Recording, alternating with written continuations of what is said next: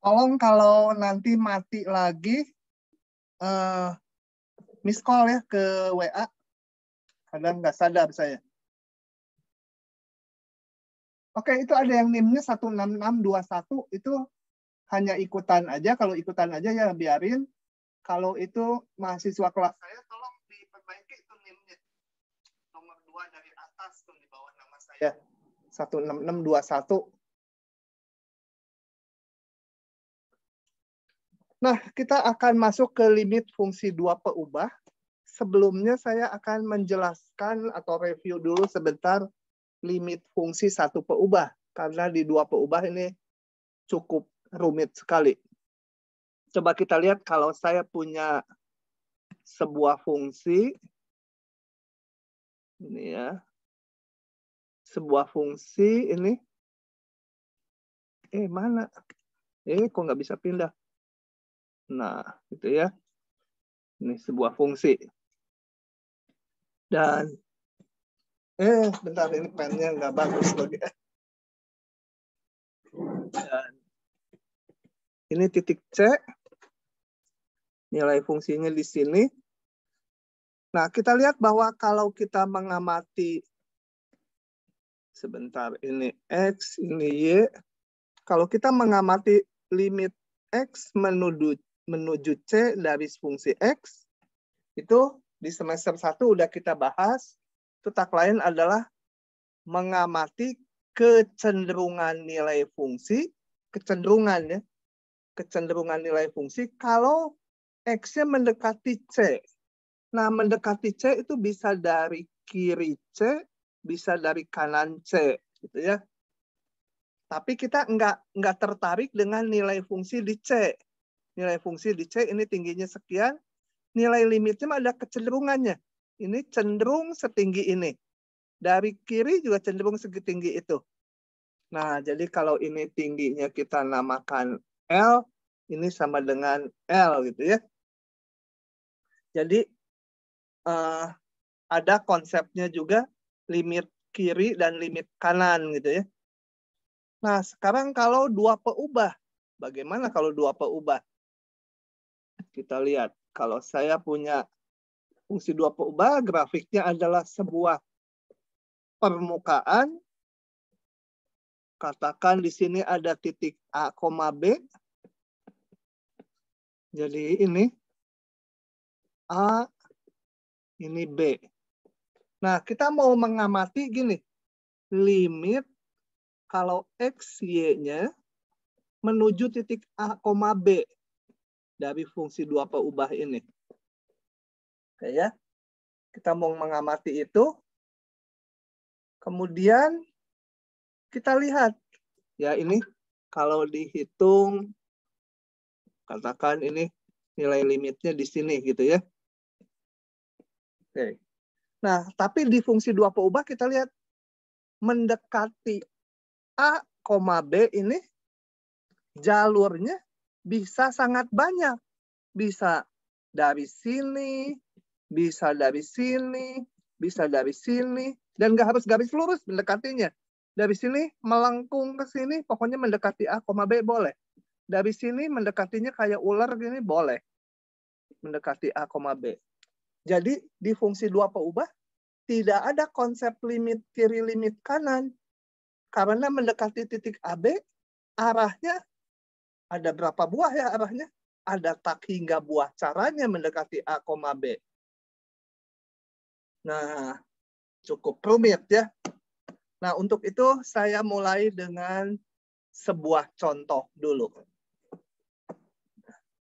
Misal, oke okay, ini tadi udah saya sebut jadi limit itu masalah men mengamati kecenderungan nilai dari setnya bila x y-nya mendekati titik A, B. Nah, untuk itu saya akan mengamati fungsi ini. Yang gambar permukaannya seperti ini. Ini saya plot pakai uh, software namanya Maple. Ini juga saya plot pakai Maple ya, uh, apa kurva ketinggiannya atau peta konturnya. Tapi saya akan lihat di Maple-nya nih ya. Nah, di Maple perintahnya cuma gini aja nih. Oke, saya nggak akan jelaskan perintah Maple-nya. Tapi saya akan amati fungsi uh, permukaan ini.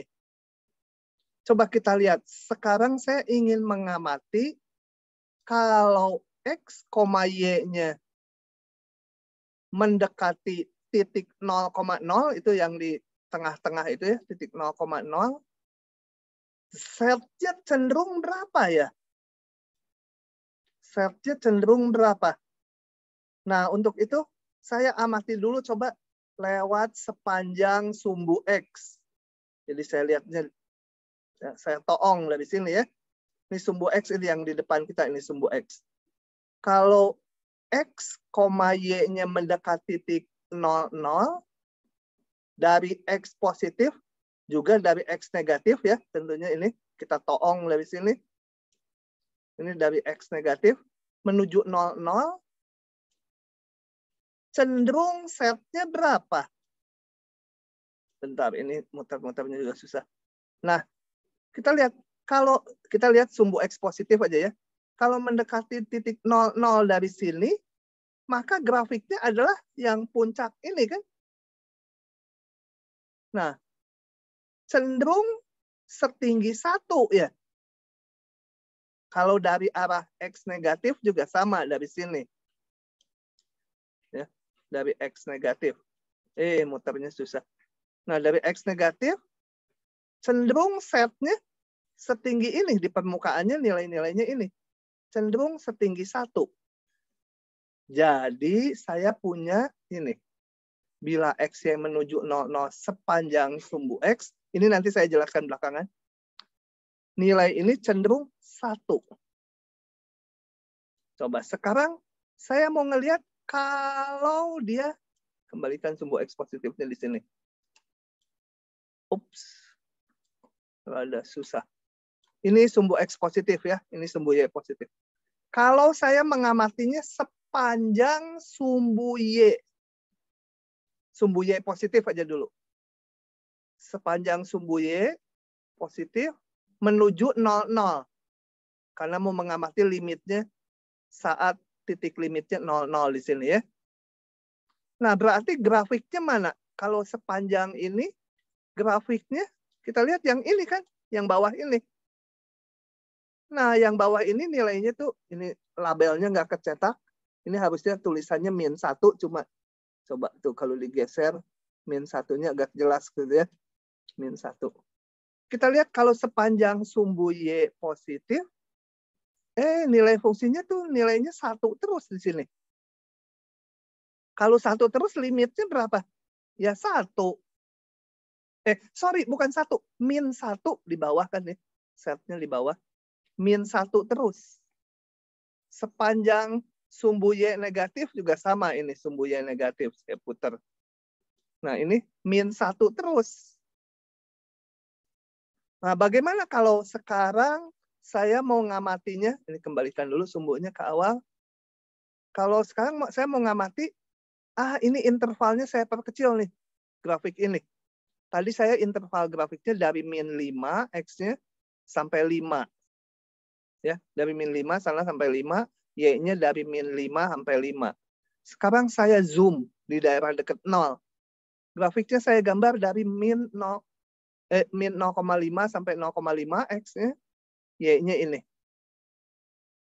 Ya, saya mau lihat gambarnya. Eh, gambarnya polanya sama aja. Kalau sepanjang sumbu X, ketemunya ini nilainya satu terus. Limitnya satu. Saya zoom lagi. Nih, bayangkan intervalnya kecil sekali.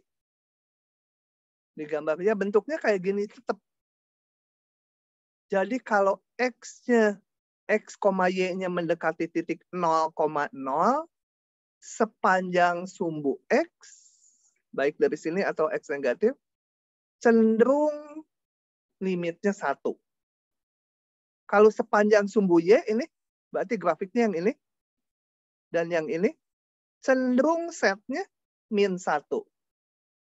Nah, saya dapat fenomena ini. Nah, kalau seperti ini, maka dikatakan limitnya tidak ada. Jadi dia nggak cenderung menuju satu nilai.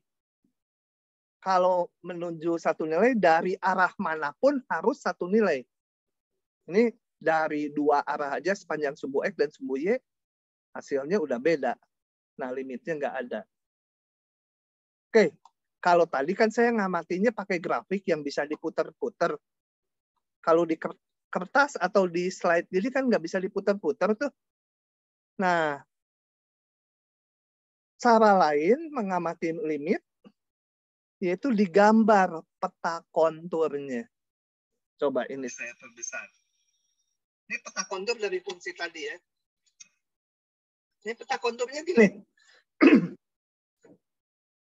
Sepanjang sumbu X ini ada label satu. Artinya apa? Sebentar. Sepanjang sumbu X satu. Ini artinya ingat mengenai kurva ketinggian ini adalah kumpulan titik-titik yang nilai setnya satu ya. Jadi semua titik yang warnanya uh, ini biru muda ini nilai setnya satu. Jadi kalau sepanjang sumbu X menuju 00, berapa nilai setnya? Ya satu terus. Meskipun di 00 nggak ada nilainya. Ya. Kemudian kalau kita lihat sepanjang sumbu Y, eh nilai setnya min satu terus. Ya. Jadi limitnya cenderung berapa? Satu, eh min satu. Kalau yang hijau, ini sepanjang garis Y sama dengan X. Itu adalah kurva ketinggian dengan nilai set atau K-nya 0. Jadi kalau sepanjang ini, nilai setnya 0 terus, limitnya 0. Ah, beda-beda. Dikatakan limitnya tidak ada. Oke. Okay. Kalau yang kanan sama aja, cuma daerah ini saya zoom. Intervalnya lihat, saya bikin kecil sekali ini.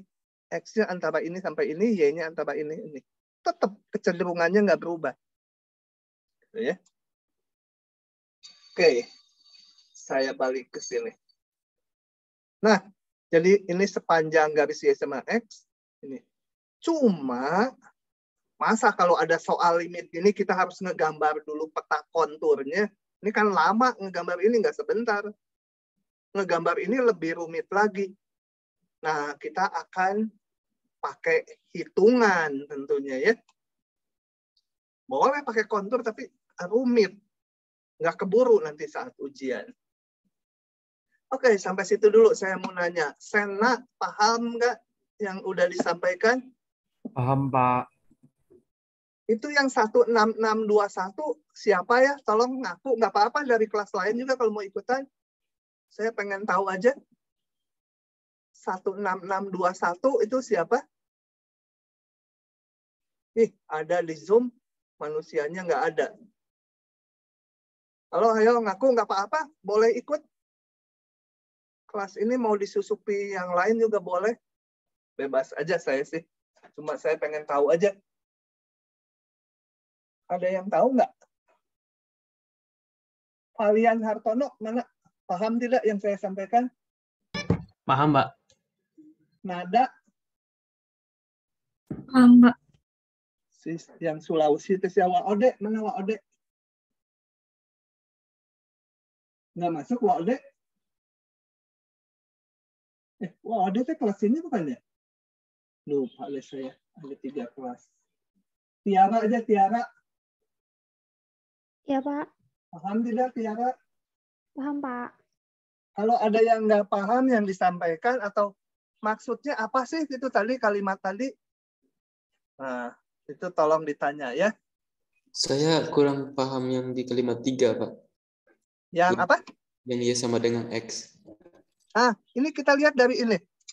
Kurva ketinggian ini. Kurva ketinggiannya udah dibikinin. Jadi ini kurva ketinggiannya udah anggap betul gitu ya kita lihat kalau ini intinya mau mendekati titik mau mendekati titik 00 sepanjang garis Y sama dengan X yang hijau. Sepanjang Y sama dengan X kan boleh kan saya mendekati 00-nya sepanjang ini. Kita lihat ini yang hijau ini setnya selalu nol. Jadi limitnya berapa? Ya nol. Coba gambar tiga dimensinya gimana? Gambar tiga dimensinya, kita bayangkan ini sumbu Y positif, ini X positif, Y sama dengan X, kira-kira garis di sini ya, di bidang XY, di bidang XOY. Nah, di bidang ini, nilai setnya yang di permukaan ini, yang warnanya merah, biru, biru muda, itu kan setnya nol terus itu. Jadi kalau sepanjang ini didekatinya, berapa setnya? Karena setnya nol terus, ya limitnya nol. Gitu. Bisa dipahami? Paham. Yang lainnya? Paham, Pak. Ya, ya ininya mungkin kalian bertanya dari mana ya harus dibikin dulu.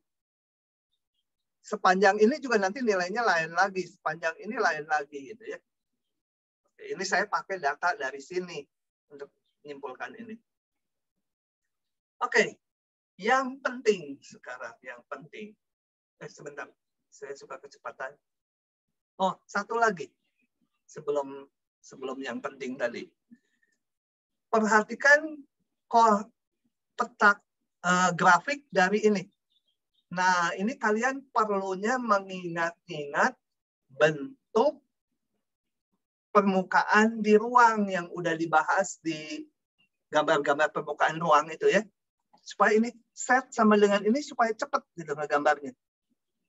Hiperbola, eh bukan, paraboloida ini ya. Paraboloida. Coba secara intuitif, kalau XY-nya menuju 00, ini mau ngelihat limit di 00 ya. Menuju 00, cenderung sama ya, nilai setnya 0 ya. Coba lihat peta konturnya. Peta konturnya kalau digambar gini. Kalau setnya satu, ini lingkaran jari-jari satu. Setnya lima, lingkaran jari-jari akar lima. Itu ya. Jadi berupa lingkaran-lingkaran. Bisa dibayangkan juga kalau permukaan ini kita potong dengan set sama dengan K, potong bidang set sama K kan lingkaran potongannya. Nah, sekarang kita lihat. Saya mau mengamati X, Y menuju 00. Jalurnya mana? Ambil dulu sembarang jalur. Ya. Kita lihat jalurnya banyak. Kalau saya mendekati 00 melewati jalur ini. Kita lihat nilai setnya. Cenderung berapa? Sampai titik. Tapi ini lebih jelas mungkin. Sampai titik ini, setnya berapa? Coba tolong dijawab. Kalau sampai titik ini setnya berapa? Ada yang jawab tolong yang tahu? Satu bukan Pak. Satu ya. Kenapa? Kenapa satu? Ada apanya tulisan satu yang di kanan atas Pak. Ah, ini kurva ketinggian dengan nilai K-nya satu gitu ya. Nah, di sini ada labelnya. Sampai sini nilainya 0,75 ya setnya nih, setnya yang saya hitung. Sampai sini, XY-nya sampai sini, setnya 0,5. Terus sampai sini, makin kecil kan? Ya ini udah nggak saya tulis lagi angkanya, tapi kita lihat nilai setnya nanti menuju 0. Karena yang di dalam itu lingkaran jari-jari 0, kayaknya 0 gitu ya. Kalau lewat jalur ini, sama juga kan? Setnya di sini satu 0,75, 0,5, 0,25. Makin kecil, setnya menuju 0. Lewat yang ini, sama. Lewat yang ini sama nilai setnya menuju 0. Nah, yang seperti ini limitnya itu ada, yaitu 0. Karena lewat jalur mana pun, nilai setnya cenderung menuju 0. Gitu ya. Nah, Sebentar, saya suka cepatan ngomongnya. Pada tiap jalur amati kecenderungan nilainya udah tadi menuju nol. Apakah tiap jalur memberikan kecenderungan nilai fungsi yang sama? Iya ya. Asal menuju nol, jalur mana pun setnya makin lama makin kecil. Karena lihat dari kurva ketinggiannya ya. Nah, dikatakan, oh sorry, dikatakan kalau setiap jalur memberikan kecenderungan nilai set yang sama. Nah, itu adalah limitnya. Di sini limitnya 0. Gitu ya. Bila x, y-nya menuju 0, 0. Nah, sekarang coba kita lihat. Begini. Jadi, kalau untuk menunjukkan limit fungsi dua peubah ini ada, berarti saya harus membuktikan kalau diambil pada jalur mana pun hasilnya sama gitu ya. Kalau limitnya ada. Dan itu tidak mungkin dilakukan oleh manusia nggak tahu kalau sama setan kenapa karena jalurnya ini kan tak hingga banyaknya mau kita periksa semua jalurnya nggak hanya garis lurus boleh boleh bengkak-bengkok gitu ke sini dari sini mau ke sini dulu baru menuju sininya dari sini. Tek gitu. Boleh. Kita nggak mungkin memeriksa semua jalur. Karena jalurnya ada tak hingga buah. Banyaknya yang menuju 00. Ini aja baru digambar 5 nih yang biru. Masih banyak jalurnya. Jadi ingat-ingat. Menunjukkan limitnya ada, tidak pakai jalur-jalur. Kalau kita ambil satu jalur, ambil satu jalur lain, nilai limitnya sama, nggak bisa menyimpulkan limitnya betul. Betul ada. Karena harus semua jalur dan itu nggak mungkin. Ya, jadi satu menunjukkan limit sebuah fungsi dua peubah ada tidak boleh pakai jalur-jalur. Nah, satu lagi yang penting kalau menunjukkan fungsi dua peubah limitnya tidak ada, cukup diambil dua buah jalur, mana aja jalurnya pilih nanti, supaya nilai limitnya berbeda. Jadi kayak tadi, sepanjang sumbu X, sepanjang sumbu Y, bukan fungsi ini ya, yang sebelumnya, eh hasil limitnya beda. Ah, kalau beda berarti limitnya nggak ada. Nah, kadang-kadang kita ngambil satu jalur, misalkan sepanjang sumbu X atau sepanjang Y sama dengan X, eh ketemu limitnya sama. Nah, kalau gitu sial kita belum bisa nyimpulkan. Ambil jalur lain. Eh sama lagi. Wah cilaka. Cari jalur lain lagi. Kemudian eh limitnya beda. Nah bahagia kita. Berarti ada dua jalur yang nilai limitnya beda. Berarti limitnya nggak ada. Yang cilaka tuh kalau kita ngambil jalur A, jalur B, jalur C, jalur D, jalur E, sama terus gitu dapatnya. Kemungkinan memang limitnya ada gitu ya. Tapi nggak boleh disimpulkan dari jalur-jalur tadi. Harus dihitung. Oke, begitu. Kita lihat sekarang contoh. Ini saya nggak akan bahas epsilon deltanya. Udahlah, nanti kalian mabok oncom di mahasiswa matematik juga tingkat dua baru dibahas benar-benar secara secara apa ya istilah Inggrisnya rigorous rigorous itu apa ya secara lengkap secara benar pemahamannya itu Oke. nah kita lihat sekarang ke contoh-contoh saja dua ya tadi caranya kalau menunjukkan limitnya ada nggak boleh pakai jalur-jalur gimana atau menunjukkannya harus ininya dioperasikan kayak kita ngitung limit fungsi satu peubah. Ya boleh pakai kalau bisa pakai apit, apit. Kalau bisa di ada yang dicoret, dicoret gitu ya. Pokoknya dihitung. Kalau menunjukkan tidak ada, nah baru pakai jalur-jalur. Cukup dua jalur, nilai limitnya beda. Oke, kita lihat yang nomor ini dulu. Eh, nggak ada sialan. Ya udah saya hitung. Diklik-klik nggak ada. Oke. Kita lihat. Uh, sebentar. Mana? Ah, adalah. Oke, periksa. Kalau periksa ini menyulitkan kita, kira-kira limitnya ada atau enggak ya? Nah, kita lihat-lihat ini kalau ada limit itu coba substitusikan. Masalah nggak? Oh, masalah 0 per 0. 0 per 0 mau pakai L'Hopital nggak bisa. Dua peubah nggak ada L'Hopitalnya. Kecuali udah dibikin jadi satu peubah. Dua peubah nggak bisa. Jadi bagaimana? Nah, untuk itu saya lihat bahwa ini bisa difaktorkan, ada yang bisa dicoret. Jadi saya hitung aja ini sama dengan limit x, y menuju 2,2. Kalau nanti ternyata masalah juga mau dihitung, kita coba mungkin limitnya memang nggak ada. Gitu ya. Ini karena periksa, ya saya periksa dulu aja yang bisa dicoret. Tambah y dibagi x min y itu ya. Nah, ini bisa dicoret di limit.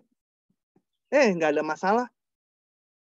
Ini kok jadi nol sih? Ah, ngarang aja. Sebentar. Dua, itu ya. Eh, nggak ada masalah. Masukkan aja. Empat ya limitnya. Gitu. Lagi, lagi, lagi ya. Yang ini moga-moga keluar. Ah, harus nulis capek. Eh, baik dia keluar. Coba kita lihat ini periksa. Wah, ini kayaknya nggak ada yang bisa dicoret ya. Masalah nggak? Masalah penyebutnya nol, pembilangnya ini. Coba, saya akan coba hitung. Gini. Bentuknya kalau di substitusi 3 per 0. Nah, kalau bentuknya bilangan dibagi 0, bentar, bentar. Bentar-bentar, saya ada yang lupa. Kalau bentuknya 3 bagi 0, kemungkinan plus tak hingga atau min tak hingga. Harus dilihat tandanya. Kalau tandanya bisa plus, bisa min, ya nggak ada. Karena nggak, nggak menuju satu harga ya. Tapi saya coba periksa kita lihat gini. Saya amati ini titik-titik yang ada di dalam cakram jari-jari satu. Kenapa boleh? Jadi saya batasi ini. Karena kan masalahnya limit itu X, Y-nya menuju 00. Kalau menuju 00, boleh aja yang di sini udah nggak saya lihat nih yang di luar. Lihat aja yang udah deket. Yang jaraknya satu ke sini eh, jaraknya kurang dari satu berada di dalam lingkaran ini. Itu ya alasannya kenapa boleh daerahnya saya batasi ini karena kita mau melihat kecenderungan kalau titik-titik XY-nya menuju 00. Nah, kalau di dalam cakram ini kita lihat ada yang istimewa apa? Ini paling gede satu. XY paling gede satu kali satu. Jadi ini semua titik yang berada di cakram warna krem ini 3 min X min XY-nya selalu positif, betul? Kan ini paling gede satu, ini paling gede satu kali satu. Jadi tiga dikurangi satu, kurangi satu, masih positif. Nah, kalau yang ini jelas positif. ya Yang ini positif, yang ininya selalu positif. Jadi ini bentuknya 3 per 0, tapi dua-duanya positif.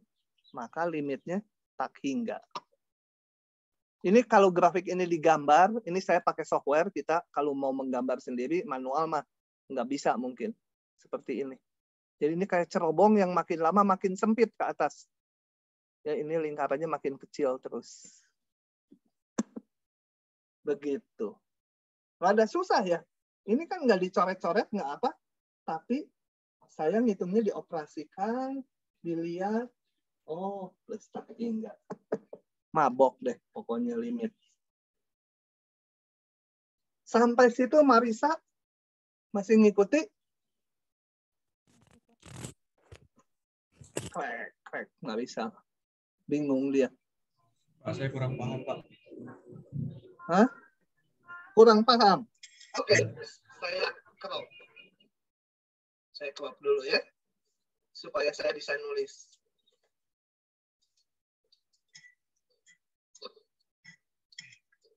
Dan saya tanya secara bertahap. Bentar, ini kok jadi segede gajah. Nah, gini. Kita mau memeriksa limit ini. Ya.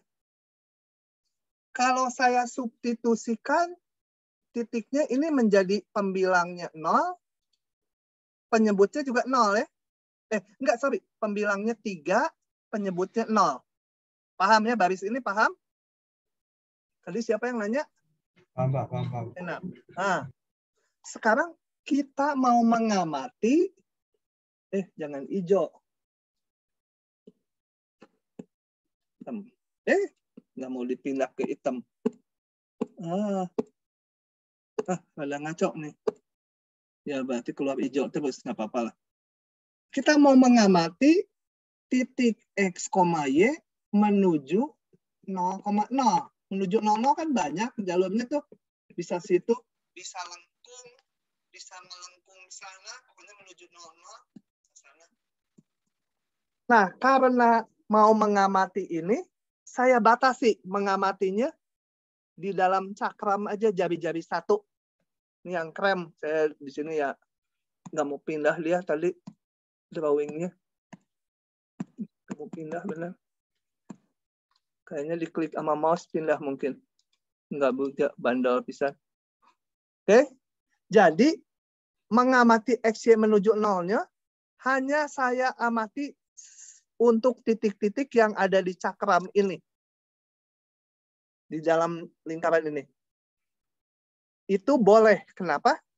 Kan menuju 00. Yang di sini mah nggak penting, yang di luarnya mah. Yang penting yang dekat ke 00. Gitu. Paham itu? Bahwa boleh? Belum belum yang ini, belum. Enak, paham?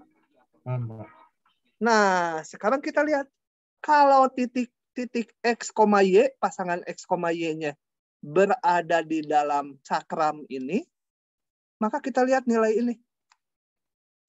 Nilai 3 min x min xy. Dia selalu positif. Kenapa? Karena paling gede x-nya 1. Y-nya juga 1. 3 dikurangi 1 dikurangi 1.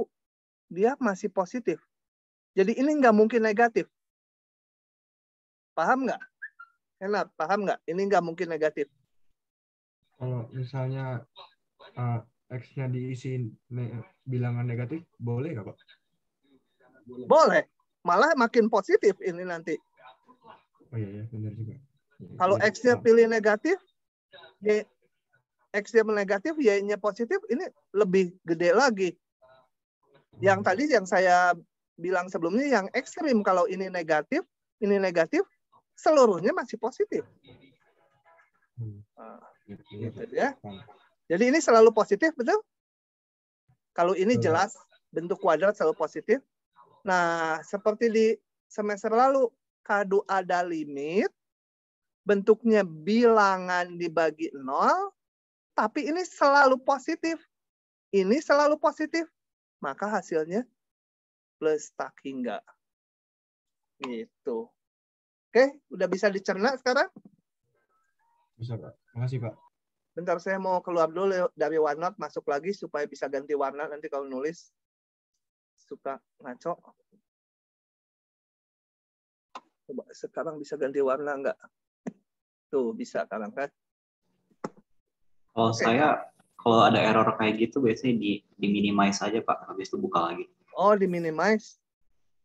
Ya, nanti kalau ada error saya tulis minimize gitu ya. Nah, oke. Oke, oke, nanti kita coba.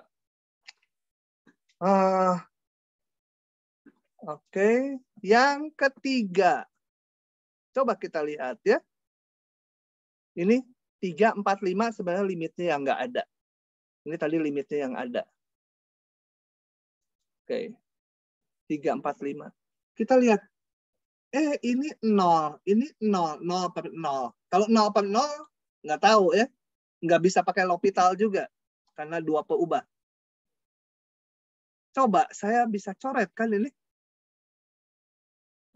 Faktorkan. Coret. Ah.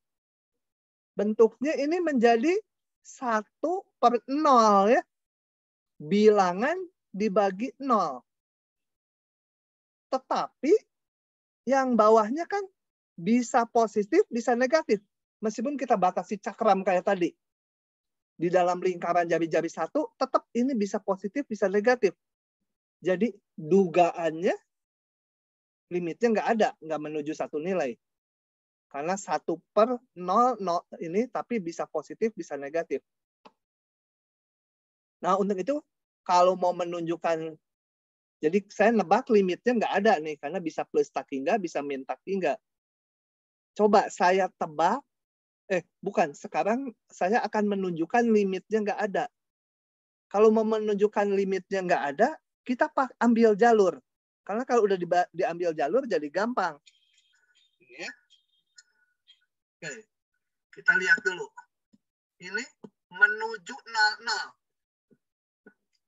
paling gampang jalurnya mana? Ya sumbu X sama sumbu Y aja ya. Sepanjang sumbu X itu. Kita hitung limitnya. Sepanjang sumbu Y kita hitung. Harapannya limitnya beda. Kalau udah beda, ya udah bahagia kita. Coba kita hitung. Nah, sepanjang sumbu X. Kalau ternyata sama, ya sial kita harus nyari lagi jalur lain supaya beda. Tapi kalau memang limitnya ada, ambil jalur yang mana pun akan sama terus. Tapi nggak boleh nyimpulkan dari jalur-jalur tadi. Karena jalurnya ada tak hingga buah banyaknya gitu ya. Kalau sama terus ya kita nggak boleh pakai jalur. Sepanjang sumbu X. Ingat, kalau sepanjang sumbu X, berarti Y-nya nol kan? Y-nya selalu nol. Jadi itu memudahkan tuh kalau udah ngambil jalur, Y-nya selalu nol. Ini belum saya limitkan ya. Limitnya belum dihitung. Baru menyederhanakan fungsinya aja ini. Ini. Eh, sorry. Sebenarnya satu langkah lagi ini sama dengan Ih, nggak bisa nulis biasa ya. Limit. Ah, susah nulisnya. Ini seper X kuadrat ya. gitu. Ini harusnya limit X, Y menuju 00 seper X kuadrat Nah, seper X kuadrat kita lihat bilangan dibagi 0. Dan yang bawah selalu positif, yang atas selalu positif. Jadi plus tak hingga. Kalau yang ini nggak bisa. Satu dibagi 0, ininya bisa positif, bisa negatif. Ya belum bisa disimpulkan. Kalau ini udah bisa.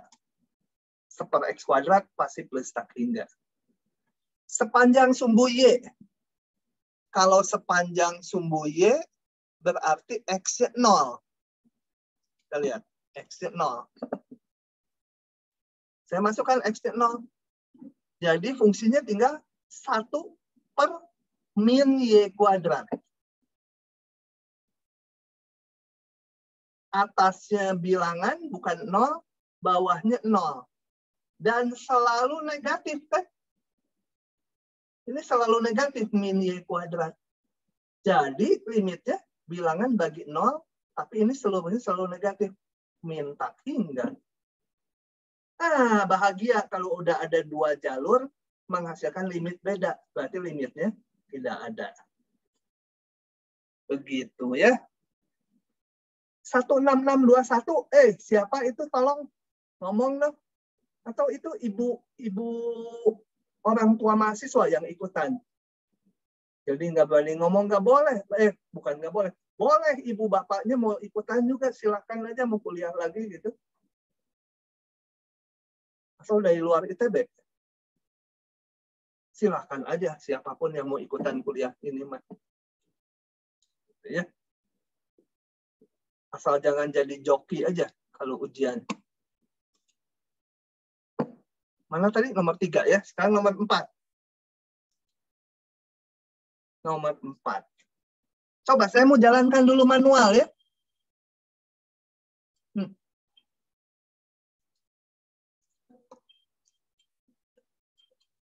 periksa ini. Eh, 16621 kalau nggak menjawab nanti saya keluarkan. Halo, halo. Tolong menjawab. Gimana ya? Ah, udah aja dia remove ya. Nggak menjawab. Udah, saya keluarkan aja. Nah, periksa limit ini. Nggak ada yang bisa dicoret kan ya? Nah, kalau periksa ini ada susah. Saya permudah soalnya. Tunjukkan bahwa limit ini tidak ada. Nah, bagaimana menunjukkan limit tidak ada? Kembali ambil jalur. Jalurnya mana? Jalurnya pokoknya harus melalui 00. Oh ya, sedikit catatan. Kalau ditanyanya bukan 00, misalkan 1,2 gitu ya. Misalkan ini 1,2. Kalian jangan bilang nanti periksa sepanjang sumbu X. Nggak boleh ya. Sepanjang sumbu X kan nggak, nggak mendekati ini. Kalian nanti periksanya harus sepanjang misalkan garis Y sama dengan 2. Atau sepanjang garis X sama dengan 1. Itu ya, pokoknya yang melalui ini. Atau sepanjang garis ini. Ya apa? Y sama dengan 2X. Gitu ya jadi jangan selalu sepanjang sumbu x sepanjang sumbu y gitu ya oke nah kita lihat saya kembalikan soalnya ke semula sepanjang sumbu x sepanjang sumbu x berarti y ini sama 0 limit x, y menuju 0, 0 ini sama dengan ya sorry yang ini sebut sama dengan K itu ya. 0,0. Y-nya 0. Jadi X kali 0 dibagi X kuadrat ditambah 0 kuadrat pangkat 2. Saya belum ngitung limitnya ya. Fungsinya mau saya sederhanakan dulu. Ini menjadi 0 dibagi X pangkat 4 kan? Saya belum ngitung limitnya baru saya sederhanakan dulu fungsinya. 0 dibagi X pangkat 4 selalu fungsi 0 kan? Nah, fungsi 0 konstanta limitnya baru saya hitung limit konstanta adalah ini. Nah, sekarang saya coba sepanjang sumbu Y. Sepanjang sumbu Y berarti X-nya 0. K sama dengan limit X, Y menuju 0,0. Kembali masukkan ke sini. Sekarang X-nya 0. Jadi 0 kali Y dibagi X kuadrat. Di, eh, X-nya 0, sorry. Mana, mana, mana. 0 kuadrat ditambah Y kuadrat pangkat 2 sama dengan limit X, Y menuju 0,0 ini 0 dibagi Y pangkat 4. Belum saya hitung limitnya, baru fungsinya saya sederhanakan. Jadi fungsi 0, 0 dibagi Y pangkat 4 ya 0. Sama dengan limit dari konstanta 0. Sial, sama. Kalau sama, jangan nyimpulkan limitnya 0 ya. Nggak boleh itu. Jadi, ya sial nih. Karena ini ini udah udah saya ganti tadi soalnya. Tunjukkan limit ini tidak ada. Berarti harus cari jalur yang nilai limitnya beda. Cari lagi yang lain. Saya balik sini. Saya periksa sepanjang garis ini. Boleh enggak? Boleh, karena ini garis ini melalui 00. Jadi harus jalurnya yang melewati 00. Oke, sepanjang X sama dengan Y, jadi X-nya diganti dengan Y. X-nya ganti dengan Y, ini menjadi Y kuadrat. X-nya ganti dengan Y, menjadi ini. Sederhanakan dulu. Nah, ini bilangan dibagi nol. Selalu pembilangnya positif, penyebutnya selalu positif, pangkat dua. Jadi plus tak hingga. Nah, udah beres. Satu jalur yang ini, satu jalur lagi ambil aja misalkan yang ini. Kan beda tuh, ini nol, sedangkan di sini plus tak hingga. Berarti limitnya nggak ada. Nah, tapi karena di slide ini saya nggak menggunakan yang ini, saya buka lagi satu laginya. Sepanjang X min Y diambil. Dihitung lagi. X-nya diganti min Y. Hitung, hitung, hitung. Ini bilangan dibagi 0. Ini negatif, yang bawah selalu positif. Jadi min tak hingga. Nah, ini limitnya tidak ada. Bisa? Satu contoh lagi yang lebih susah lagi. Periksa limit ini. Oke, kita periksa. Nah, ini juga limitnya nggak ada. Udah dikasih tahu aja nggak ada, gitu ya. Jadi periksa. Nah, jadi nggak harus meriksa. Tunjukkan limitnya nggak ada. Harus cari dua jalur yang limitnya beda. Coba. Ambil sepanjang sumbu X dulu. Boleh nggak? Boleh, karena melalui 00 sumbu X. Oke, kalau sepanjang sumbu X, Y-nya 0. Y-nya 0. Y-nya 0. Fungsi ini saya sederhanakan. Pembilangnya 0, penyebutnya X pangkat 4. Jadi 0 dibagi X pangkat 4, ya 0 ya. Baru dihitung limitnya. 0. Sepanjang sumbu Y. Sepanjang sumbu Y berarti X-nya 0. X-nya 0. Yang ada X-nya 0. Pembilang 0 penyebut Y kuadrat. 0 dibagi Y kuadrat ya nol gitu ya. Belum dilimitkan ya. Nol dibagi Y kuadrat ya nol. Dilimitkan konstanta nol. Sial, belum belum berhasil ya. Harapannya beda. Coba sekarang saya ambil umum sepanjang garis lurus yang mana pun yang melalui 00. Garis lurusnya mana? Yaitu ini. Ini kan mewakili semua garis kan? Y sama dengan X, Y sama dengan 2X, Y sama dengan min 5X, Y sama dengan min 3X, Y sama dengan 100X. Semua ini garis lurus yang melalui 00 di luar sumbu X dan sumbu Y. Karena ini udah diuji. Jadi kalau M-nya 0 kan Y sama dengan 0. Y sama dengan 0 itu sumbu X. Tapi nggak, nggak usah. Tadi udah diuji sendiri. Oke. Okay. Nah, kembali kita ganti Y-nya dengan MX di sini. Ganti Y-nya dengan MX. Ini MX pangkat 2.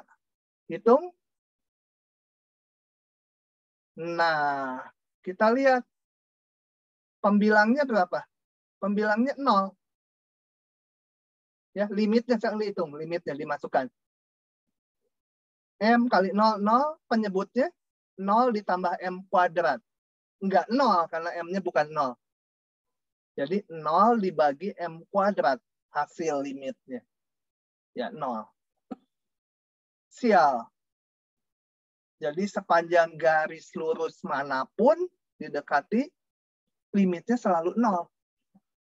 Kalau gitu gimana? Ya jangan garis lurus. Sepanjang parabola dicoba. Cilaka kan? Nanti sepanjang parabola nol juga.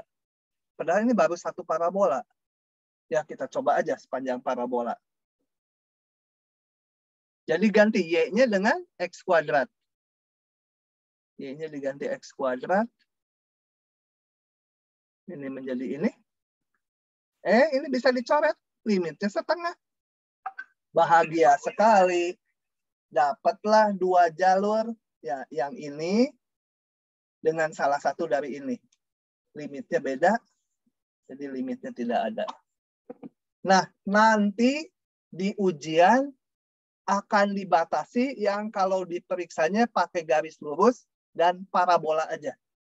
Jadi nggak mungkin yang dikasih soal limitnya nggak ada, harus diperiksa sepanjang garis lurus, sepanjang parabola, hasilnya sama terus itu. Harus pakai pangkat tiga, nggak mungkin. ya gitu. Akan rumit sekali. Apalagi sepanjang Y sama dengan sin X, boleh juga dia melalui 00. Nggak akan yang serumit itu. Biasanya hanya garis lurus dan parabola aja. Untuk menunjukkan limitnya nggak ada. Kalau memang lewat garis lurus, lewat parabola, hasilnya sama, kemungkinan memang limitnya ada gitu diberikannya nanti soalnya. Nah, lumayan ya. Coba Faliha, paham nggak? Eh, ada yang mau nanya? Silakan. Izin nanya Pak, kalau Ah. misalnya udah eh, pakai jalur-jalur itu kan nanti eh, variabelnya jadi satu doang kan antara x atau y. Betul, tujuannya itu. Tujuannya itu, betul. Itu berarti udah bisa pakai L'Hopital Pak. Bisa, bisa, bisa. Kalau nanti ketemu bentuk 0 per 0, bisa pakai L'Hopital. Pinter. Wah, Ode, tadi kamu awal-awal dipanggil belum ada. Saya tadi ketiduran Pak pas jam fisika baru keluar. Eh, kamu tadi mulai masuk jam berapa di sini? Jam setengah sepuluh Pak. Ye, si Wak Ode. Aduh, di sana kan Indonesia Timur ya.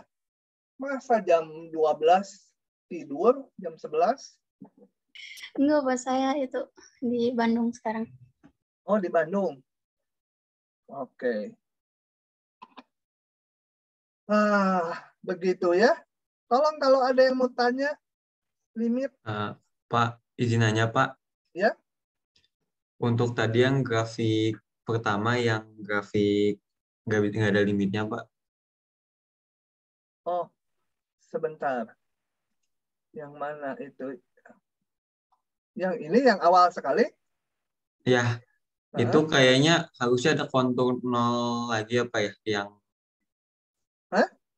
Itu kayaknya buat garis konturnya yang tinggian nol kayaknya ada dua ya Pak ya harusnya ya Pak ya yang Ah, yang X ini sama juga nol ya? sama sama ya Ya, Y sama min X. Ya, betul yang ini nggak dilabelin. oh ya makasih Pak Heeh, memang ada dua. Hmm, betul betul. Cuma nggak dilabelin. Oke, itu limitnya. Jadi soalnya selalu menunjukkan limitnya ada atau limitnya nggak ada. Pakai jalur kalau nggak ada. Oke. Sebentar, saya mau lihat ke bawah. Oh, ada konsep yang menyebalkan. Nanti saya akan skip, akan saya jelaskan teknisnya aja. Karena mulai limit ke kontinuan, nanti mengenai keterdiferensialan itu ada diferensial itu kan apa rasanya turunan gitu itu aduh ada sesuatu yang teorinya mau diberikan pun yang ngajar itu saya kalau di tingkat dua juga nggak bisa lus gitu ya nggak bisa enak karena ada hal-hal yang terlalu rumit gitu. Jadi nanti akan saya skip, apalagi ini untung ngajar mahasiswa teknik, teoritisnya nggak terlalu diperlukan. Kalau ngajar yang matematik, mau nggak mau harus, karena nanti dipakai lagi ke konsep yang di atas lagi. Oke, bentar, bentar, bentar. Kita pause dulu dua menit ya.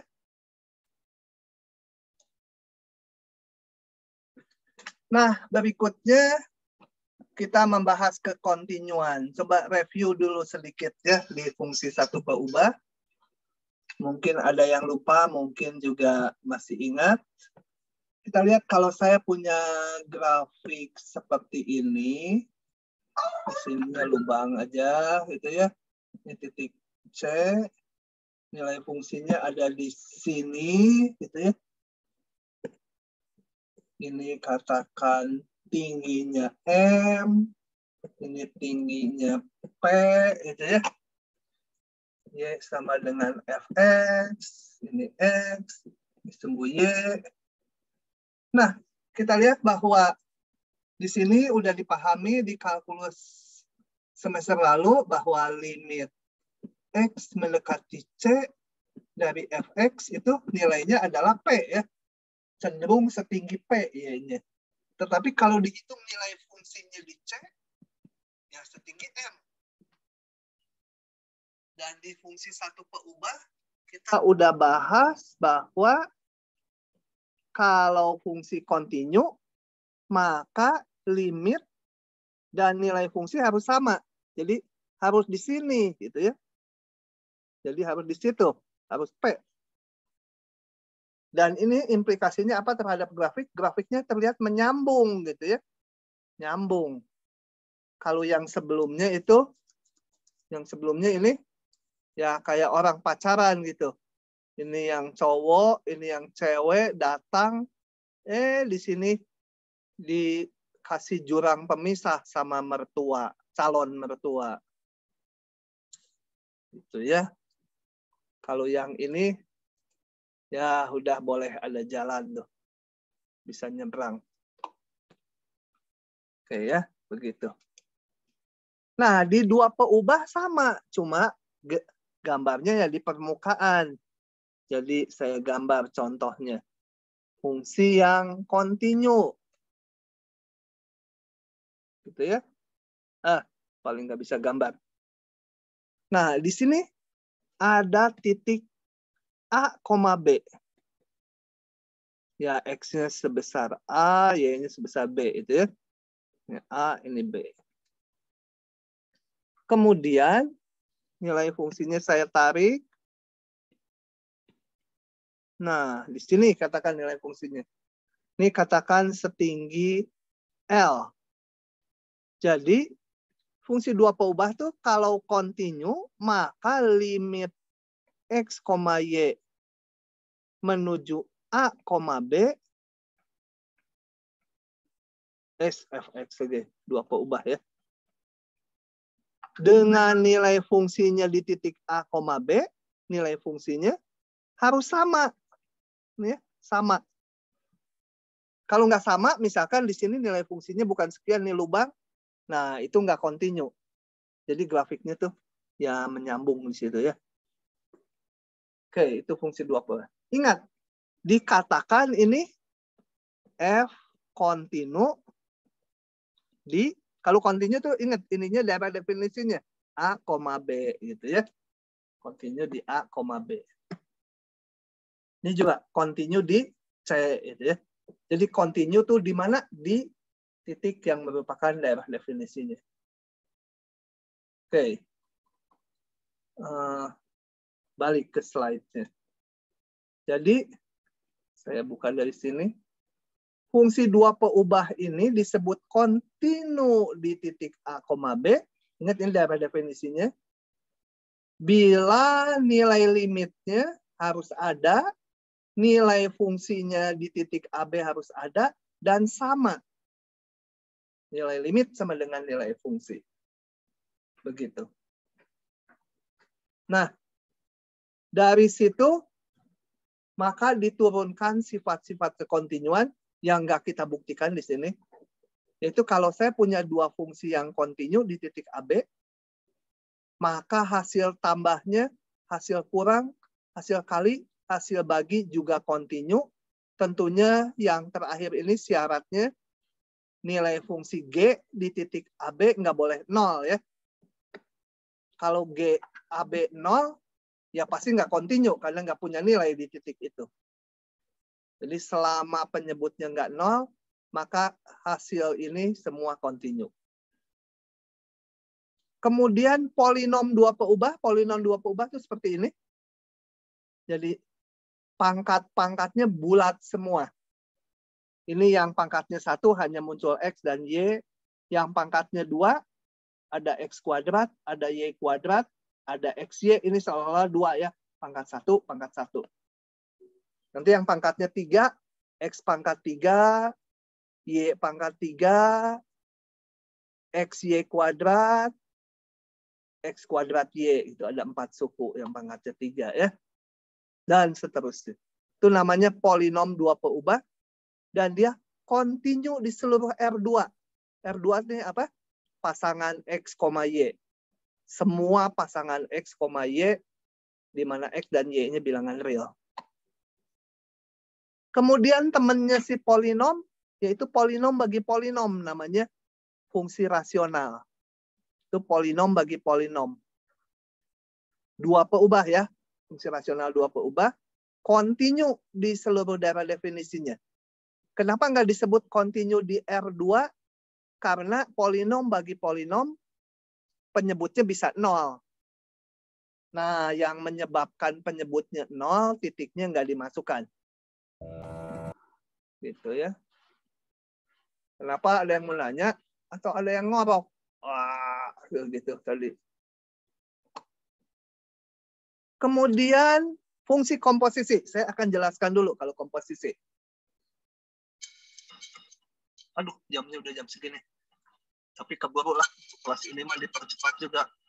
Biasanya mantap. Sebentar. Uh, tadi komposisi gini. Coba perhatikan kalau saya punya fungsi fx dan fungsi dua peubah gxy.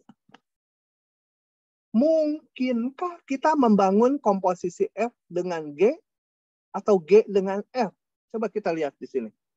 Saya gambar tiga buah combro. Wah, Ode udah makan combro belum di, Bang, di Bandung?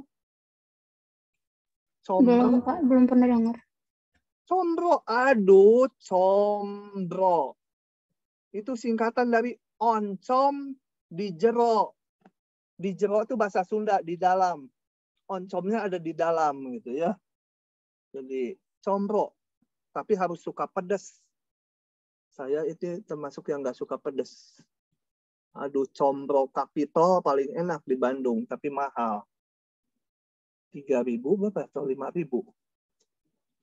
Enak sekali digoreng. Oncom digoreng pakai apa ya? Tepungnya apa nggak tahu, terigu atau apa. Nanti beli combro kamu kalau ke Bandung nggak belum makan combro mah rugi. Uh, Oke, okay. katakan ini fungsinya saya kerja fungsi f dulu, lalu fungsi g. Kalau fungsi f dulu berarti kalau saya komposisikan dia bentuknya G O F ya. Nah, di sini satu peubah X. Ya, satu peubah. F kan satu peubah. Hasilnya kalau ada ada titik A, ini FA. Satu bilangan real nggak bisa dihitung oleh fungsi G. Nggak bisa. Karena G kan harus dua variabel. Komposisinya jadi GOF tidak bisa. Ya, paham? Jadi kalau mau dihitung GOF juga bisa. Ini hasilnya nggak bisa. Karena apa? Sama dengan G dari fx. Nah, G nggak bisa satu perubah. Ini harus ada dua variabelnya kan D dua perubah. Nggak bisa komposisinya. Oke. Untuk itu saya hapus. Pus, pus, pus, pus. Pus, pus, pus, pus, pus, pus, pus, pus. Pus, pus, pus, pus. Pus, pus, pus. Nah, sekarang kalau kerjanya G dulu. Baru fungsi F. Berarti kalau G dulu mah dari awal ini ada titik dua peubah ya. Dihitung oleh fungsi G, hasilnya nilai fungsi G atau setnya itu di sini ya. Oke. Bisa, nggak masalah ini dihitung. Ini kan satu buah bilangan real. Bisa nggak dihitung oleh F? Ya bisa kan F hanya perlu satu variabel. Ini F dari GAB. GAB itu bilangan ya. Udah dihitung. Ini oke. Okay. Gitu ya. Jadi kalau ada fungsi gini, yang bisa dikomposisikan adalah F, O, G. Fungsi dua peubah kerja duluan. Yang isinya sama dengan F dari G, X, Y. Nah, gitu ya. Ini oke. Karena apa? GXY hasilnya bilangan. Bilangan dihitung lagi sama fungsi F. Begitu ya. Oke. Sebentar. Ini saya tulis ke sini. Supaya nggak ngagokin. F dari GXY. Oke, bisa dihitung. Nah, Mau, nanya Pak. Henat, kenapa Henat? Eh, berarti Pak nanti itu kan F-nya kan cuma punya X awalnya kan Pak. Berarti setelah di diginiin dia nanti punya dua nilai Pak. Berarti F F-nya punya X sama Y gitu kah Pak? Enggak. Satu bilangan, Rio. Karena ini ini A, B dihitung oleh fungsi G, hasilnya satu buah bilangan, Rio. Ya, misalnya G-nya itu sama dengan X kuadrat tambah Y kuadrat. F-nya satu variabel ya. Misalkan sin X. Komposisinya apa? F, O, G sa- sama dengan F dari GX sama dengan F dari G-nya itu X kuadrat tambah Y kuadrat dihitung oleh fungsi F disinkan sin X kuadrat tambah Y kuadrat satu nilai hasil fungsinya Oh, oh, oke Pak, oke Pak. Makasih Pak. Nah, sekarang ke kontinuannya. Itu teoremanya itu mengatakan teoremanya mengatakan bahwa bila G kontinu kontinu di mana? Di daerah definisinya di A, B. Apa artinya? Limit fungsi G dan nilai fungsi G di titik AB sama. Kemudian yang F dan F kontinu kontinu F ini kan dari sini ke sini. Jadi di daerah definisinya kalau kontinu itu ya. Kalau G tadi kontinunya di sini, kalau F kontinu harus yang ada di sini. Kontinu di titik hasil ini. Ingat, ini titik bilangan nilai, satu nilai. Maka komposisinya dari sini ke sini langsung ini yang mana tadi G kerja dulu jadi FOG maka komposisinya FOG FOG mah dua variabel ya. Karena G kerja duluan. Itu. Kontinu di mana? FOG mana daerah definisinya? Yang ini.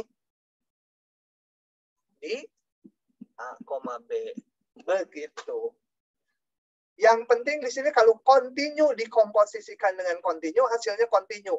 Tetapi mana yang bisa dikomposisikan harus dilihat. FOG bisa, GOF nggak bisa. Gitu ya. Oke, ini saya menjelaskan satu kalimat ini. Jadi G-nya kontinu di AB, F-nya kontinu di GAB. Kalau dibacakan ini gimana? Nggak kebayang. Kok jadi di GAB? Tapi kalau lewat gambar kan jelas. Ini AB oleh fungsi G dihitung. Jadi satu bilangan. Fungsi F kontinu di bilangan ini. Gitu. Fungsi F kontinu di GAB. Oke, jadi meskipun ada slide-nya, setiap dosen punya corak masing-masing untuk menjelaskan ya. Kalau dosennya cuma membaca slide, ada kan beberapa kuliah dosen cuma membaca slide itu, entah di matematik, di fisika atau di kimia, yang nggak paham itu kalau dibaca gini. Saya juga kalau nggak gambarannya terpatek di, di otak saya ya pusing baca gini mah. Jadi slide itu satu halaman bisa aja sampai 15 menit juga jelasin. Kalau baca ya cepet. Nah, jelaskan ke kontinuan ini. Saya akan jelaskan lewat tulisan. Eh, lewat manual, ditulis manual maksudnya. Semua juga lewat tulisan. Saya tuh kalau ngomong kurang kurang fasih bahasa Indonesianya. Ini sih gara-gara guru saya dari SD ngasih nilai 5, Pak, pelajaran bahasa Indonesia. 5, 5, nanti naik kelas 6. Dulu mah tiga bulan sekali itu raport tuh. 5, 5, 6. Kasihan mungkin. Dulu kelas 1 SD saya mau diturunkan ke kelas 0 sama gurunya. Udah pusing mungkin gurunya. Kasihan juga ibu saya dulu dipanggil sering seminggu mungkin dua tiga kali dipanggil. Gara-garanya apa? Ibu guru nulis di papan, yang lain menyatet, saya mah diam aja. Ngelamun. Gurunya tanya, Hei Warsama, kamu kenapa nggak nyalin? Saya jawabnya, capek bu. Jadi dia mau marah juga susah, orang capek kok. Tadi aja kasihan ibu saya dipanggilin ya. Tapi untung naik kelas juga nggak jadi dibalikin kelas nol. Oke. Okay. Uh, dulu ibu saya tuh rajin sekali ngawasin saya waktu SD. Saya kalau pulang SD dulu biasanya main sampai sore. Ngumpet dari ibu saya. Panggil. Tapi begitu SD di opening dipaksa lah, boleh dikatakan belajarnya dipaksa. SMP saya udah lepas gitu ya, nggak usah diawasin lagi. Zaman dulu mah nggak ada les-lesan, harus rajin sendiri. Oke, ngelantur, nggak apa-apa, pengalaman gitu ya. Saya SMP, SMA udah lepas, nggak bisa belajar sendiri. Jelaskan kekontinuan fungsi ini. Nah, ini kita anggap sebagai komposisi. Kita lihat. Saya ini komposisi fungsi cos dengan fungsi yang ini dalam kurung. Yaitu fungsi polinom derajat 2 kan ya. Jadi saya sebut apa ini udah pakai F, saya pakai yang lain G. Itu yang dalam kurung dua peubah ada XY-nya. Kemudian saya sebut fungsi H satu lagi sama dengan cos X. Dan kita lihat bahwa fxy tak lain adalah komposisi dari H G XY ya. Kalau dihitungkan H dari ini sama dengan cos dari itu ya. Sama dengan H komposisi G. XY variabelnya. Nah, kita mau memeriksa kekontinuannya. Ini jelas gitu ya. G kontinu di seluruh R2. Karena apa? Karena polinom dua peubah. Polinom dua peubah. Nah, bahasa Indonesia lima aja jadi tulisannya kayak gini lah. Sekarang TTKI susah ya. Zaman saya mah bahasa Indonesia gampang. Wah, kalau kuliah TTKI saya bisa nggak lulus. H juga kontinu di R, ingat ya. Karena ya fungsi cos, fungsi trigonometri. Trigonometri udah dikenali matematik 1A. Nah, menurut rumusnya maka HOG yang sama dengan FXY ya kontinu. Di mana? Di R atau di R2? Kita lihat HOG domainnya harus dua peubah karena G kerja duluan di R2. Begitu. Eh, kecepatan. Kalau ada yang mau ditanyakan silakan. Kalau tidak ya, ini penjelasannya udah nggak usah ya. Udah. Kemudian ini saya saya akan menjelaskan selintas saja. Fungsi dua peubah disebut kontinu di suatu subset dari R2. Kalau tadi kan hanya kontinu di titik AB. Apa artinya kontinu di sebuah himpunan? Dia harus kontinu di setiap titik pada himpunan ini. Gimana kalau ada batasnya? Kan kekontinuan itu menyangkut limit, Nah, limitnya hanya dilihat dari sebelah dalamnya aja. Nggak akan keluar soal kayak gini. Gimana mengamati limit dari sebelah dalamnya aja? Oh, nggak tahu. Tergantung bentuk soal. Nggak ada rumus umum. Tapi intinya kalau continue di suatu himpunan, continue di semua titik pada himpunan tersebut. Gitu aja. Nah, kalau saya punya fungsi dua peubah, kemudian saya hitung turunan parsial keduanya yang bagian ini, fxy. Turun ke x, kemudian turun ke y. Yang ini turun ke y, kemudian turun ke x. Kalau masing-masing fungsi ini continue pada suatu himpunan buka tertentu, itu ya, maka nilai ini akan sama. Waktu kita membahas fung turunan parsial kedua, itu fungsinya bagus. Kalau diamati, kita ngitung ini dan ngitung ini hasilnya sama. Gitu ya.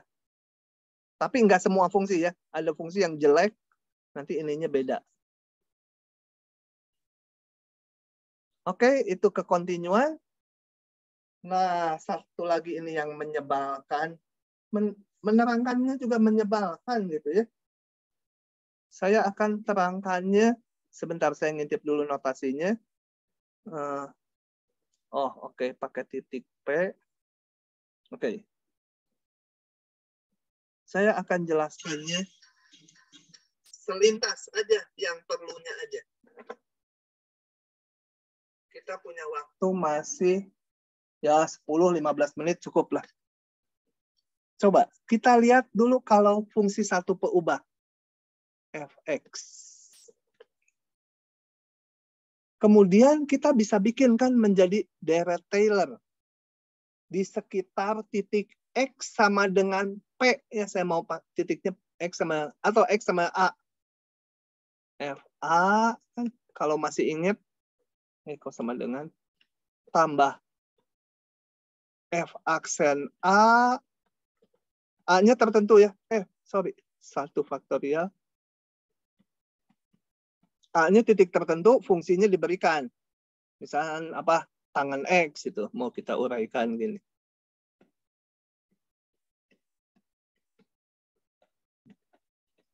Moga-moga ini masih ingat. Nah, sekarang kalau saya punya fungsi dua peubah. Ini saya akan melompat aja. Lompat tinggi buk gitu lompat ke maka uraiannya itu berbentuk seperti ini dua peubah mirip ini F P di sana A di sini P ya untuk bedain sebenarnya mau pakai A lagi juga nggak apa-apa tapi P-nya ini dua peubah ya jadi sorry saya sebut dulu uh, ada fungsi dua peubah. Kemudian P ini titik A, B. Karena dua peubah variabelnya. Nah, maka F, X, Y bisa ditulis sebagai mirip ini. FP, dua peubah ya ini. FP itu sebenarnya F ini. A, B. Saya singkat ininya P gitu ya. FP ditambah Nah, kalau di sini ini kan turunan pertama ya. Kalau fungsi dua peubah apa turunannya? Kita udah mengenal di depan ada turunan parsial terhadap X, ada turunan parsial terhadap Y. Nah, kalau di sini namanya yang turunan kayak di satu peubah ini itu namanya sebuah saya nggak ceritakan asal usulnya sebuah vektor. Notasinya ini. Dikalikan yang kayak gininya gimana? Kan dua peubah, dia vektor. X min A, Y min B. Eh, bukan X min A, X min. Uh,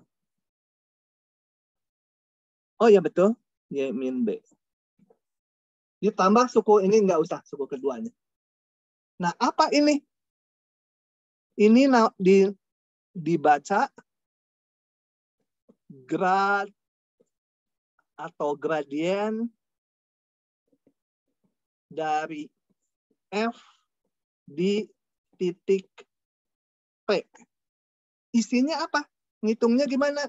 Grad F kalau di titik sembarang itu isinya tinggal ngejajarin turunan parsial ke X sorry di titik XY koma turunan parsial ke Y di titik XY. Ya. Jadi kalau grad F di titik P, P itu AB, ya tinggal diganti angka aja ini. Turunan parsialnya diganti titik P ya, titik A, B. Gitu. Nah, ini dinamakan gradien dari F. Orang ini jangankan saya, dosen lain pun interpretasi turunan fungsi dua peubah itu yang mana? Ada yang mengatakan turunan fungsi dua peubah itu ya ini, karena mirip dengan turunan ini, uraian Taylor-nya. Tapi ada yang mengatakan, bukan, ini mah bukan turunan fungsi dua peubah. Turunan fungsi dua peubah mah nanti bab selanjutnya setelah ini nih turunan berarah. Nah, tapi pokoknya namanya apa pun itu beda-beda pendapatnya ya. Yang penting bahwa yang ini namanya vektor gradien dari F. Mau dinamakan turunan boleh, tapi yang ini juga turunan parsial, turunan juga. Jadi turunannya tuh ada beberapa macam di fungsi dua perubah. Oke ya. Oke, begitu ceritanya. Kenapa ini saya munculkan kalau cuma begini? Karena ini nanti banyak dipakai ke belakangnya. Sangat banyak dipakai. Oke. Saya balik ke sini. Oke, ini udah jangan lihat notasi ini, pakai aja yang dari saya ya, ini kalau lihat notasi ini kalian bingung harus ngikuti dari depan kenapa pakai vektor segala. Oke. Nah, vektor gradien yang pentingnya ini. Jadi ini boleh kalian skip nanti. Eh, nggak bisa nyoret sih. Ini boleh kalian skip. Yang halaman sebelumnya juga boleh boleh kalian skip karena lihat lihat slide saya aja ya. Nih, boleh sekalian skip. Nah, yang ini penting. Sifat-sifat gradien. Grad dari F tambah G kalau ada dua fungsi, tinggal jumlah masing-masingnya. Oh ya, sifat-sifat gini kalau bentuknya teratur tuh kalian nggak usah ingat-ingat. Kalau nggak teratur baru perlu diingat. Misalkan matriks. Matriks A kali B dengan B kali A itu beda. Harus diingat-ingat kalau ternyata komutatif ya udah biarin nanti pakai tinggal langsung aja ya nah, ini teratur ya gampang lah konstanta kali f gradiennya konstantanya bisa keluar gradien dari perkalian kayak ngitung turunan turunan ini tapi ini sekarang gradien namanya gradien ini kali ini ditambah ini tetap kali gradien yang kedua Oh ya, grad ini isinya tadi saya lupa menekankan vektor ya. Kenapa enggak pakai panah gitu? Karena udah konvensi standar di matematik yang namanya grad itu pasti vektor. Jadi ini vektor kali vektor ya. Hasilnya bilangan seluruhnya ini. Oke. Nah, Oke, ini udahlah nggak usah. Kalau fx continue di lingkungan ini, kemudian parsial pertamanya continue, maka terdiferensialkan. Ini saya biasanya mengingatnya gini aja. Kan grad itu isinya ini fx dan fy. Nah, kalau ininya continue, ininya continue, berarti gradnya ada. Gradnya ada, berarti terdiferensialkan. Kayak ini turunannya ada. Itu. So, ini gradnya uh, apa fungsinya terdiferensialkan. Nah, udah nggak usah lah, ini skip aja.